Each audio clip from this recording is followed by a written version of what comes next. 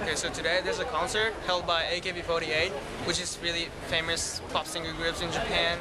So look at the audience. There's a bunch of people who loves AKB48. They're What's the name of the group again? AKB48. Okay, uh, are they a music group or? Yes, pop singer groups. And that's what's going to be performing tonight? Yes. Thank you very much, sir. hey, Aaron. Look at how cute. Sexy.